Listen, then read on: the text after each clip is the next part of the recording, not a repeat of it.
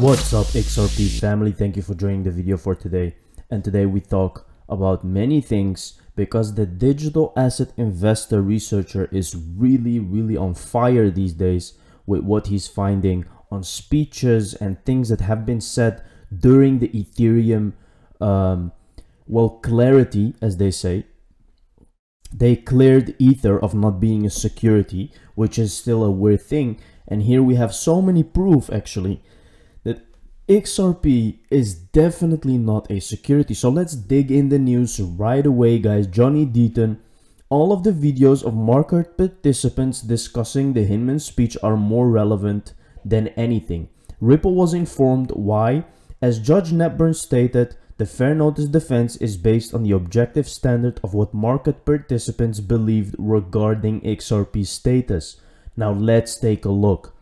Seems like the SEC is going to be the regulator for for crypto tokens uh, for the spot market, um, but it's not clear yet, even from them, which tokens they think are securities or not.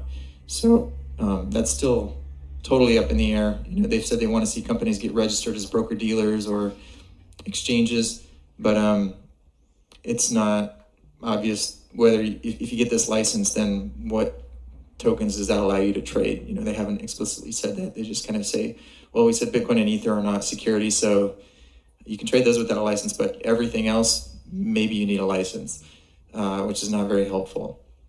I think it's kind of just like reasonably clear. Um, I would say very clear.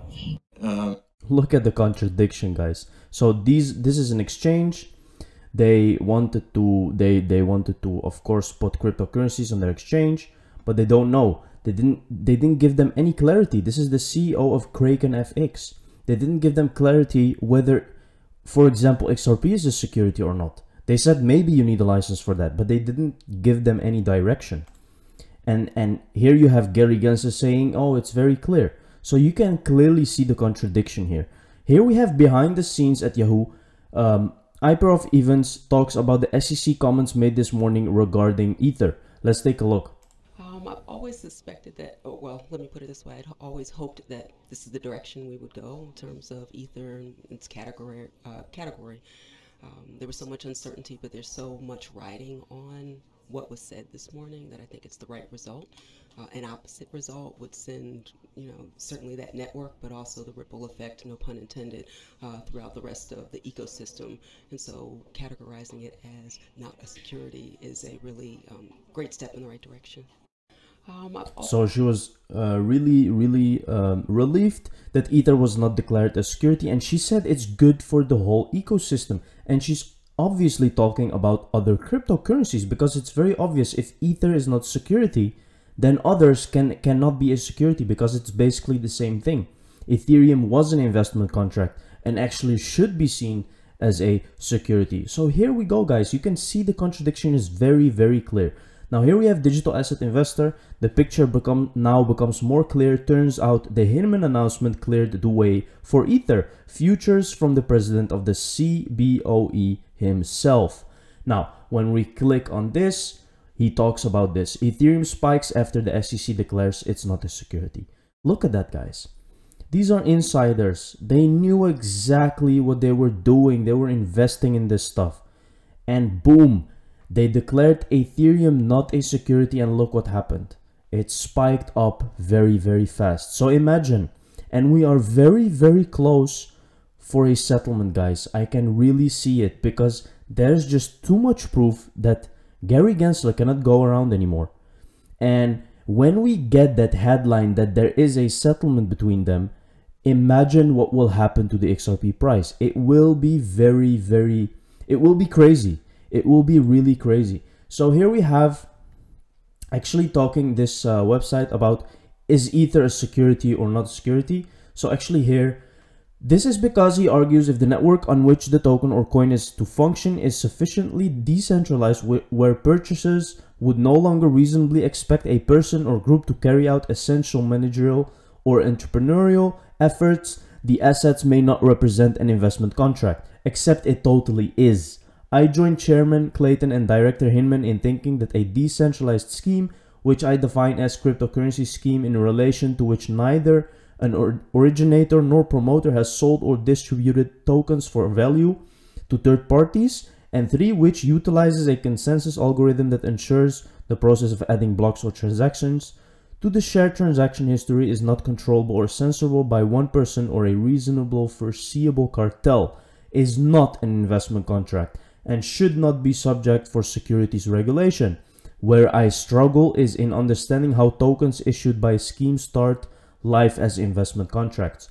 And then, despite openly flouting the law for years and seemingly only because the scheme has successfully evaded enforcement action during that time, despite being part of and enabling what former SEC Commissioner Joseph Grundfest called the most pervasive, open, and notorious violation of federal securities laws since the Code of Hammurabi the tokens issued by such a scheme could conceivably lose their status as investment contracts.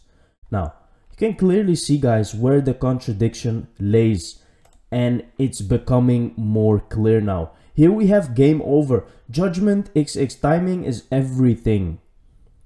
This is on the star link of Elon Musk. Here we have a scale posted by Mr. Pool and judgment. So here they say actually that they are timed together. Grateful for Elon Musk, SpaceX. Look at the two X's. Good to see you. Here we can see that this is all tied together. So here we have the Arab Monetary Fund plus Visa plus Ripple.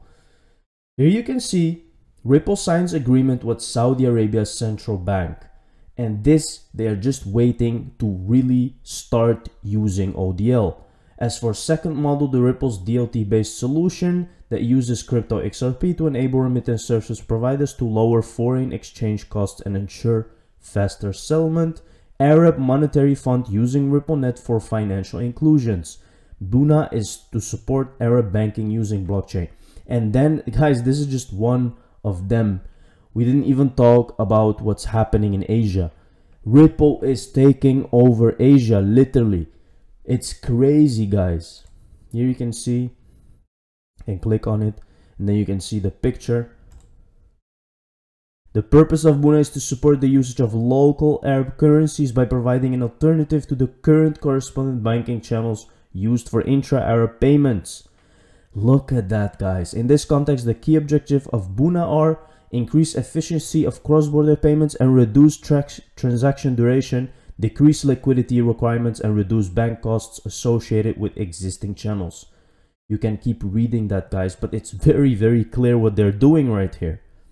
This is literally using XRP as a bridge asset. Why? To make it cheaper for everyone. This is a win-win for everyone. The consumer, the banks, the, the monetary fund, everything. Here you can see Bitcoin and Ethereum are not securities, but some cryptocurrencies may be. SEC official says. The SEC's point man on cryptocurrencies and initial coin offerings says that Bitcoin and Ether are not securities, but that many, but not all, ICOs, initial coin offerings, are securities and will come under the regulatory control of the SEC and relevant securities laws. Central to determining whether security is being sold is how it's being sold and the reasonable expectations of purchasers. Bill Hinman, the head of the Division of Corporate Finance for the SEC, said in a speech today at the Yahoo All Markets Summit crypto conference in San Francisco. Hinman said the primary issue in determining whether cryptocurrencies and ICOs were securities was the expectation of a return by a third party, specifically whether there was a person or a group that sponsored the creation and sale of the assets and who played a. Now, guys, please, you tell me when did Ripple have an ICO and offer XRP and ask um, and actually expect profit from that? When did that happen? Like, when? Where is that? Day? You can clearly hear what he's saying. You can clearly see that Ripple will definitely win this case. Judgment time, regulations, justice, what do you think? This is all Mr. Pool drops with scales. It means justice or maybe regulations. It's finally happening. Here you can see just in Singapore announces 15 finalists for Global CBDC Challenge. Now this is important guys. The technologies in the sandbox include Ripple partner Mojaloop. I have been talking about this so many times because Mojaloop is very very relevant to what's going on. Here you can see the Monetary Authority of Singapore announced 15 finalists for its global CBDC challenge to find the best solutions for retail central bank digital currencies. Singapore has not committed to launching a CBDC itself. The initiative was launched in conjunction with the World Bank, the IMF, and other global institutions. Now, imagine that Mojaloop wins this challenge. It means that they will run on RippleNet. Very easy to understand. And believe me, they will, because it's already happening. Ripple and the Mojaloop Foundation creating a more financial inclusive future. So here you can see with the launch of the Mojaloop Foundation as a charitable organization to support the deployment of the Mojaloop. Open source software, the organization's sponsor members will take on the responsibilities of providing financial... So it's really out there guys it's really out there and we are so close i know that it's hard sometimes to keep your xrp and to not um, pay attention to other things. But you have to because it's really near. Ether explodes after news about the sec not classifying it as a security and break down the significance for other cryptocurrencies. This is what we we're talking about. Look at that. 40 percent 519 dollars. Instantly. Very very crazy. So this is why guys you should really this is the the reason that they ban cryptocurrencies okay? This is it. If you wonder why cryptocurrency has a bad name or anything this is the reason. Pause it read it and understand it. You worked and someone paid you i'll need to take 30 to 50 percent.